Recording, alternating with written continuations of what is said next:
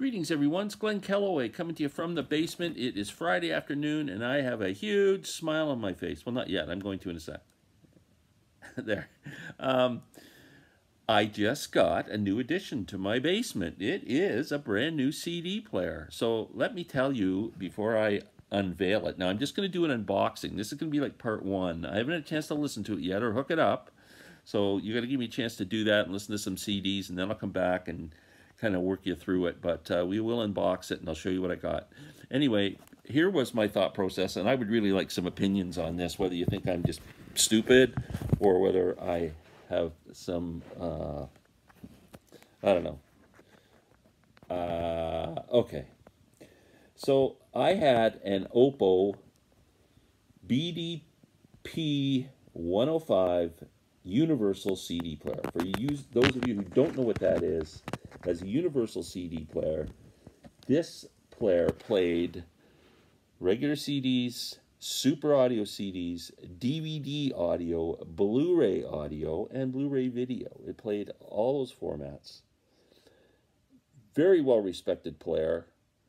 I've owned it for 13 years. Never had a problem with it. It's they're highly regarded players. Oppo, just look them up. People love them. Um, I had a couple of problems. One, age. I was starting to think, you know, the thing's still in pretty good shape, but at some point, it's not going to be. And uh, how long is this going to last? Secondly, because I'd say 90% of my CDs are just typical Redbook CDs. They're not audiophile CDs. I had quite a few audiophile CDs, but over, you know, in 2,000 CDs, a hundred of them, maybe 80 of them were what you would consider audiophile that would meet the formats that this player played. And they all sound fan, like not all, but most of them sound really, really amazing. And they're expensive too. I paid money for them over the years and bought most of them new, so or used really cheaply. And um, so I decided that I wasn't totally happy with the sound I was getting. It sounded really good, but I just felt there should be more. I, I, and I don't know how to explain what more should be. Maybe it's more separation. Maybe it's better bass treble. I, I don't know. I don't know. But I just think I wasn't getting everything out of the listening experience I should.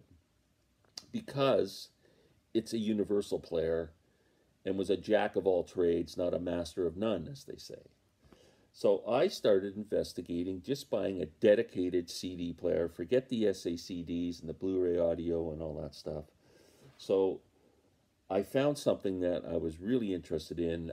I um, contacted a guy I've done business with. I bought my monitor audio speakers and my Rega turntable off of this gentleman in Kingston, Ontario. Ash Forest Hi-Fi.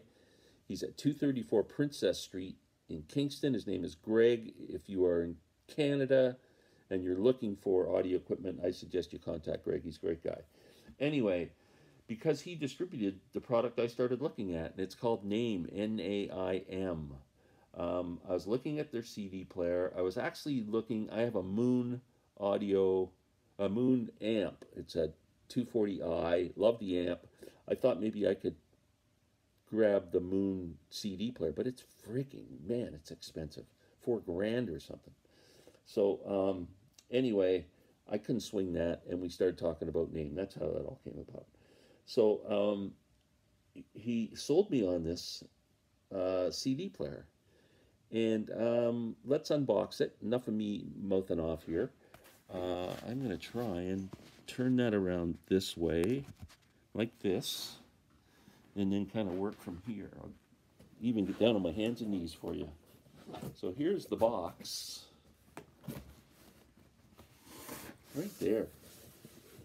Naim.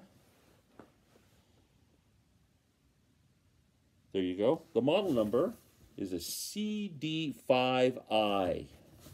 Okay? Let's see if we can make this work. CD5i. So now, um, this CD player, it uh, hooks up to your amp two different ways. It hooks up with an RCA, regular typical RCA jacks, and it also hooks up with a DIN connection, which is like those little five point things. And um, I don't have DIN on my amp, so I either bought I have to buy a DIN by RCA cable, or hook it up in DIN. So if you, it it comes programmed to work on the DIN connection. You have to get the uh, remote and you have to push it at the machine and you have to get push certain buttons on it to change the format so it hooks up to RCA. So while I was at the stereo shop this afternoon, I asked Greg to kindly open the box. Let's get it out. Let's get that out of the way because I don't want to come home to mess around with that. So that's what happened. So I'm going to open this up. There we go. I'm just going to show you all that. Maybe we can do it this way. Holy smokes, it's just like it's uh, made for this. So, oh, look at. Okay, first of all, we can take out the remote. There's the remote control. Nice looking remote. Hand, it works good in the hand.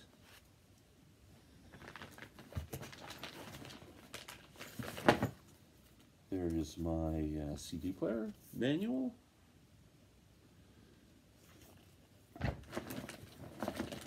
Power cord. You see a power cord, we've all seen that. Here's the thing I was talking about, it comes to the cable.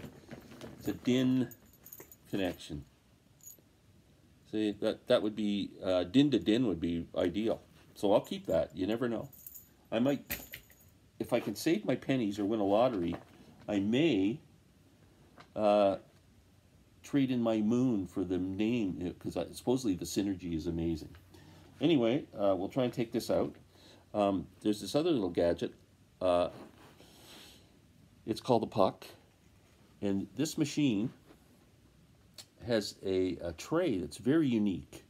You know, you usually push a button, the tray pops out, or it's just a slot and you push the CD in. Not with this player.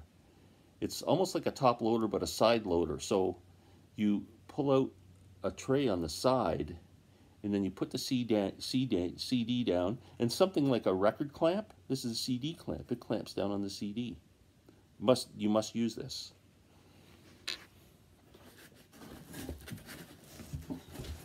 We will take that side off. We will take that side off we will take that off. We will take this out. There's my player right there. There's the back, like I was telling you, it's RCA or DIN. And um, yeah, so that's it. I'm going to get off of here now because I'm dying to hook this thing up and play it. I'll get back tomorrow with my thoughts and uh, show you how it works and all that stuff. Thanks a lot, everyone. I'm excited. We'll talk later.